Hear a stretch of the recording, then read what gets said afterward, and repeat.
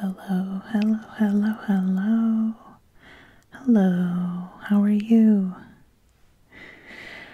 Today, tonight, I'm going to teach you briefly just a little introduction um how to knit.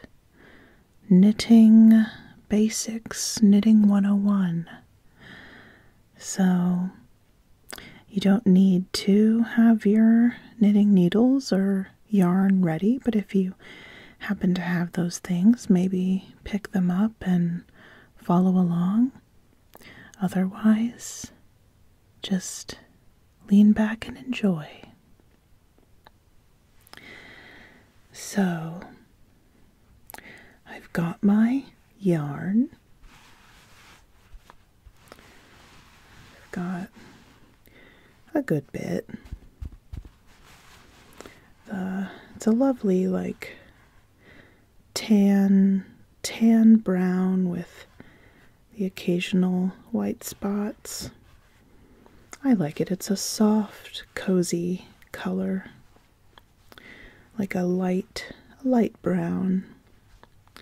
And I've got some metallic knitting needles that are really smooth and slippery. If you're just starting out, if this is your first time knitting, then I might recommend wooden knitting needles because they're a lot less slippery. But you know, it's whatever feels feels right. You'll want to maybe experiment with the you know the length of knitting needles, wooden or metallic. Um, I personally like to knit with wooden knitting needles because they're less slippery, but I love the sound of the metallic knitting needles clicking together. I think it's the best for for ASMR, so that's why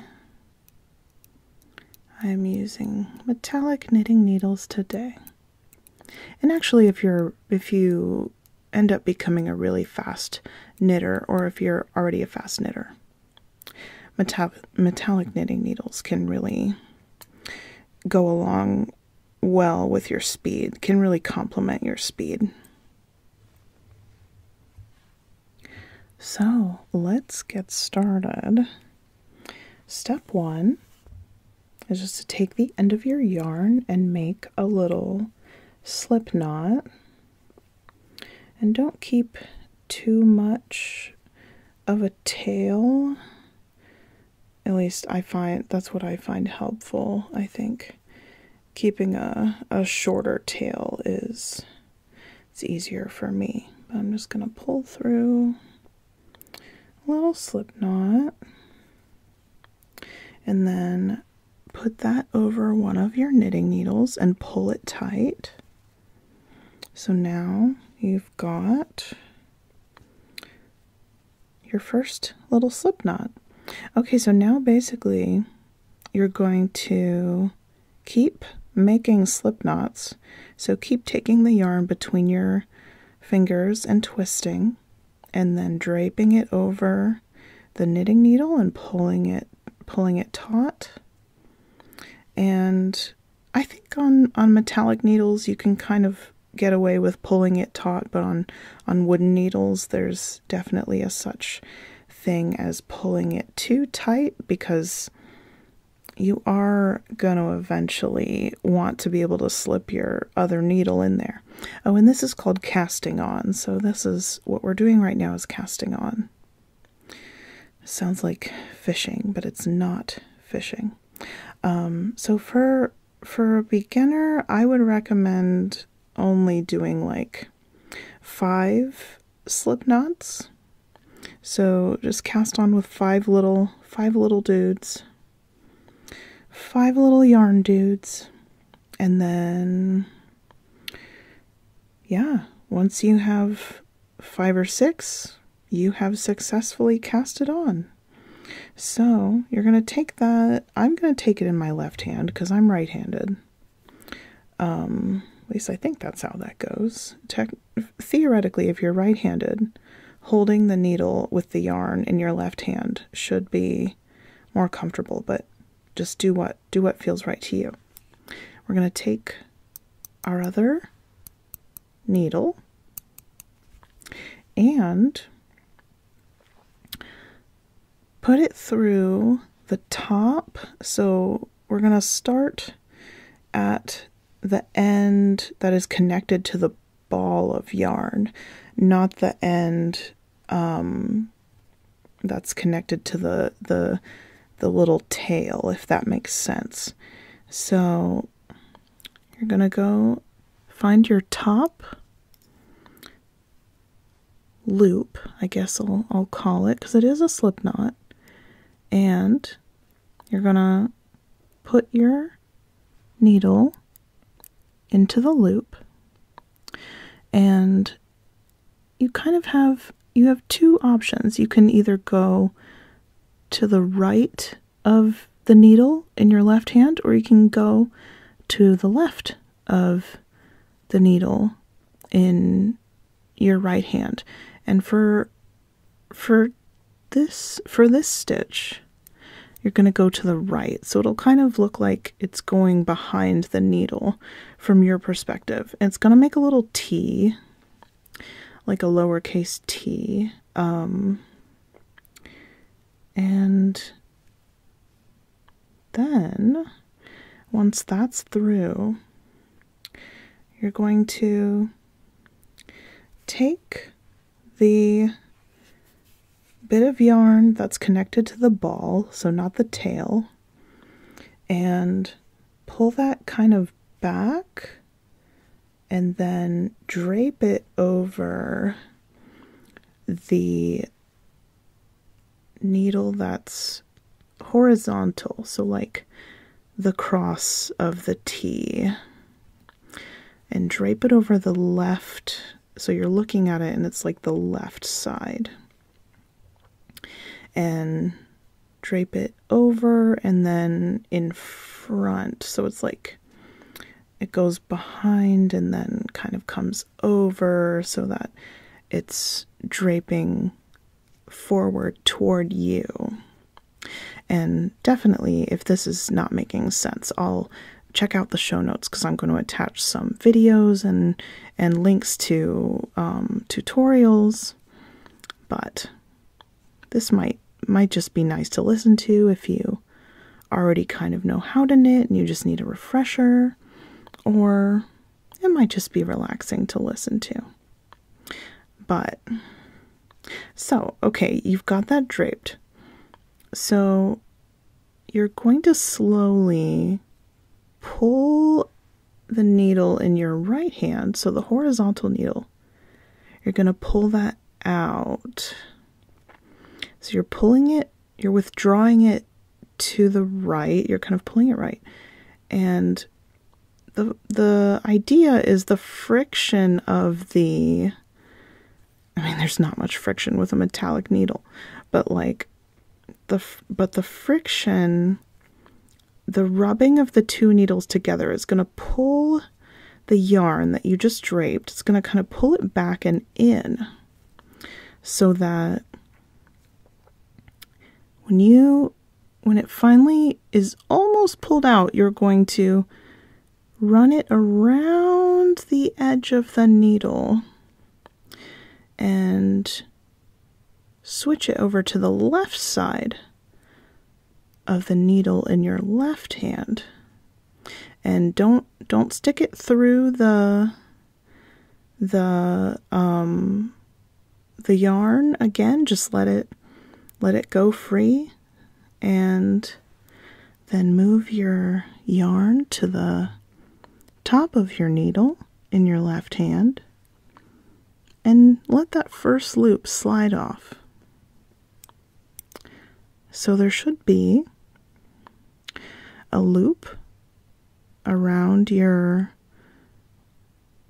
right needle and there should be if you started with five, there should be four loops left on your left needle. and this is the knit stitch. So the knit stitch is when you go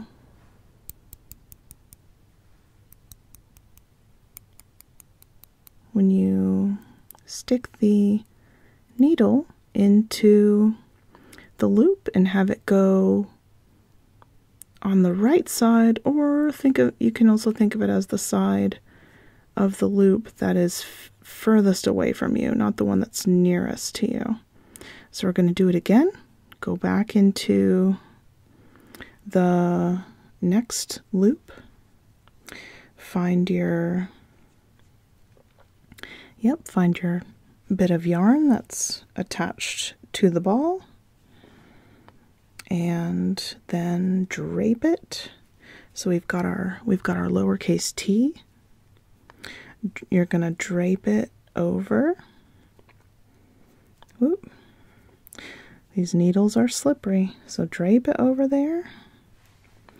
And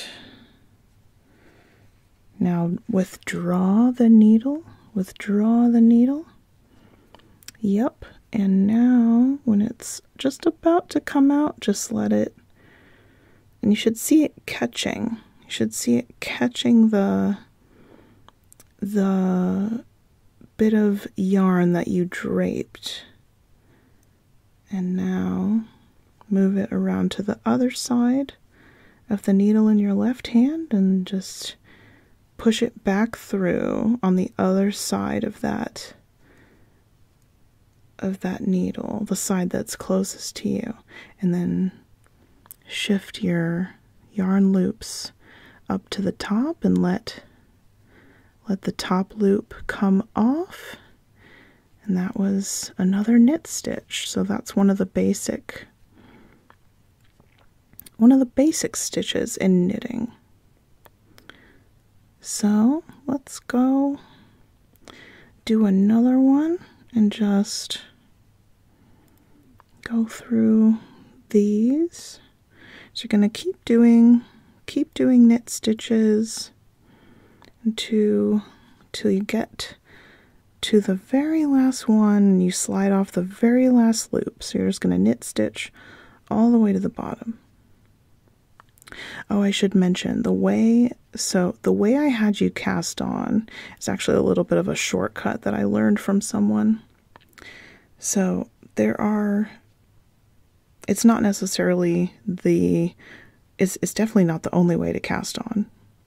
It is probably not even the best way to cast on, but it's just the way that I was taught. So if you see uh, different ways of casting on, um, don't be confused. There are lots of ways to cast on. And mine is just mine is just one of them. So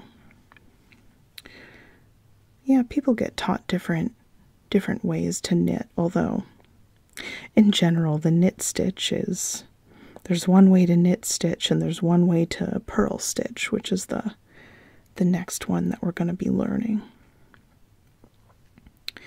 So we drape and we pull that through, push it to the other side. Good, good, good. Let that bring that loop up and off. Good, good, good. And then back into the back into the next loop go behind. There we go. Make a T and drape, drape, and then pull it back, pull it back, pull it back, and push it through other side. Good, good, good then pull it up, pull the loop off. Okay, this might be your last loop. So push it through, make a T, drape it, and then pull it pull it back. Pull it back, pull it back. And then push it through on the other side. Pull it up. Pull off that last loop. I actually have one more because I did six instead of five. That's okay. Here we go. Push it through. Drape it over. Make a T, drape it over. And pull it back. Pull it back, pull it back. There we go. Push it through on the other side. And then pull it up and off. So now you should have one one needle with yarn on it and one needle without any yarn on it. One clothed needle, one naked needle. One one clean needle, one dirty needle. The dirty needle is the one that has the yarn on it. But so now it is time to do the purl stitch. So let me just find my spot. There we go. Okay, so again, so now your the little tail and your um like the loose tail of your yarn and the piece of yarn connecting to the ball should be in the same spot. And we're gonna, yeah, we're gonna start up at the top here. Um, so start on the loop of yarn that is around the needle. So you might have like an extra kind of loop hanging off, but start on the, the, the loop of yarn that's around the needle. And you're to make a T again, but instead of going behind the needle, like uh, on the side of the needle furthest away from you, you're going to go through the front of the loop in front of the needle in your left hand and take so the piece of yarn connected to the ball that you were draping behind last time, you're going to drape it. Well, some people some people drape it, some people just kind of barely hold. I I like to actually wrap it around. I find uh, that's easier for me. Um, but so do a little, give it a little wrap.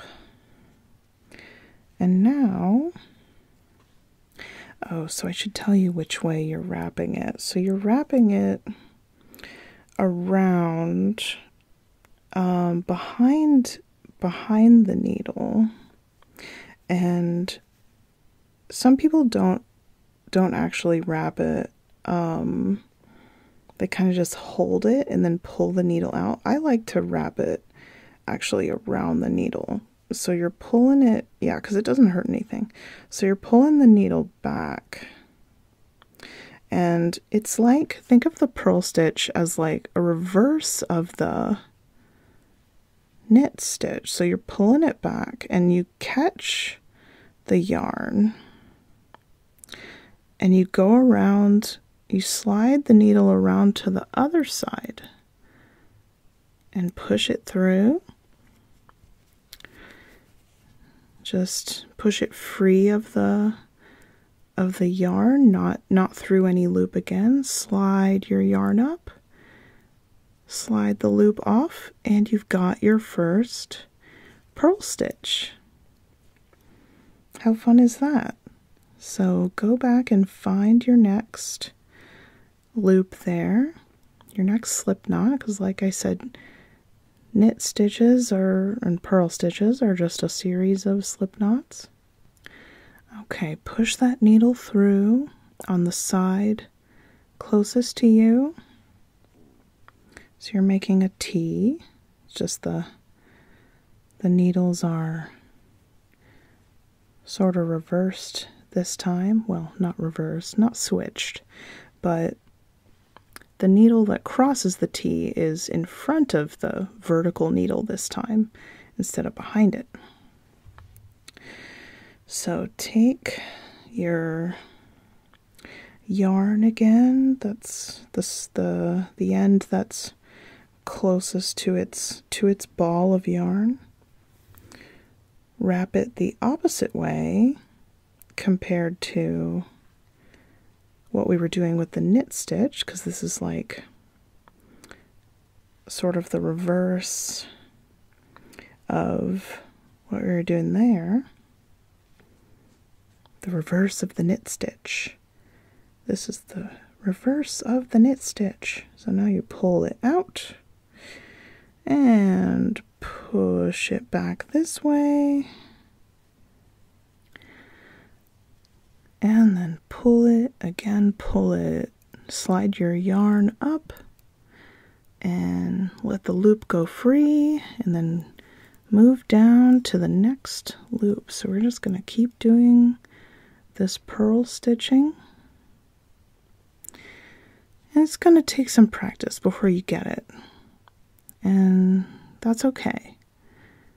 Everything takes practice before you get it, you know? So don't worry about that. Uh, okay, under, wrap that over, and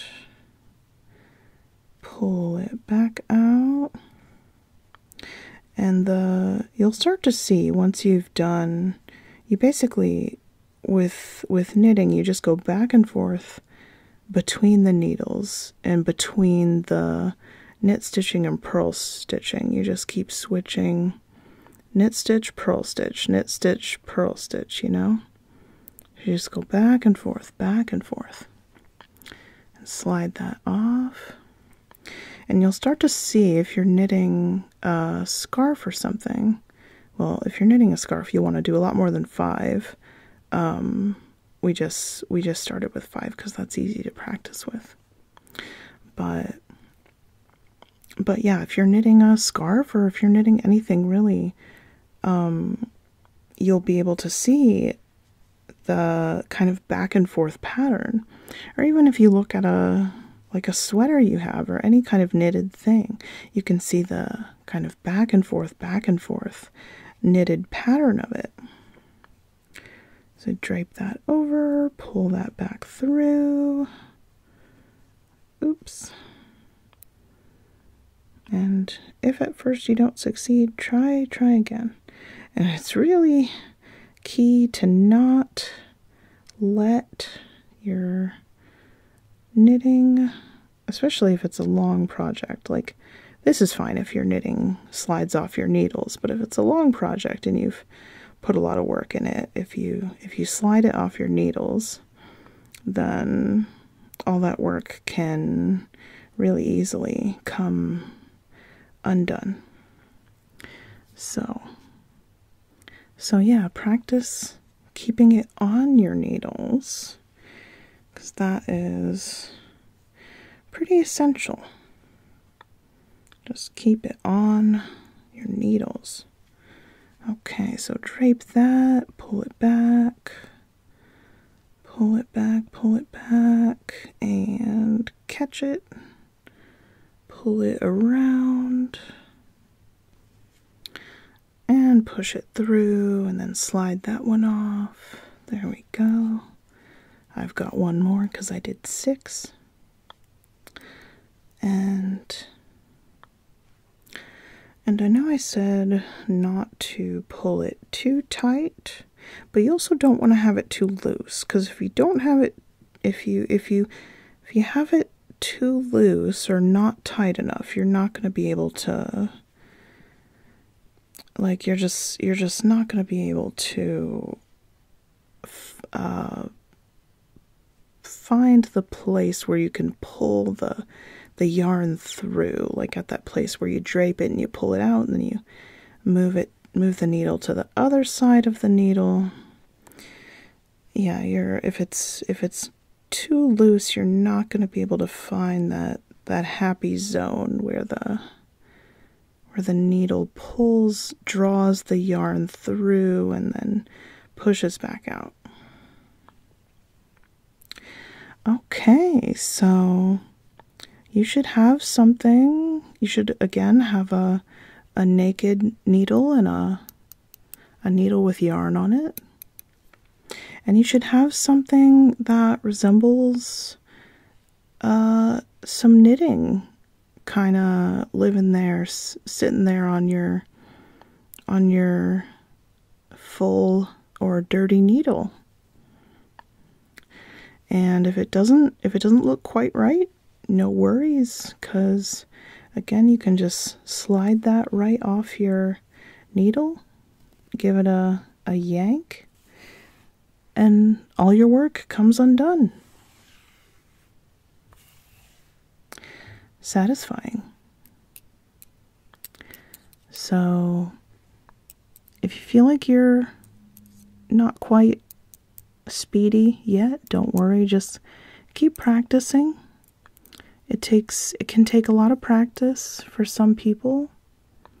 Um and don't worry, just go go at your own pace. And you'll you'll get the hang of it eventually. I believe in you.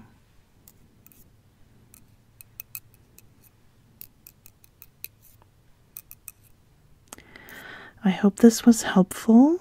Remember, there are going to be some links in the show notes to some more knitting instructions, some photo tutorials, and also video tutorials. So check those out. And also, don't be afraid to ask a friend who knows how to knit. Hey, can you show me how to knit? It can be really helpful. All right.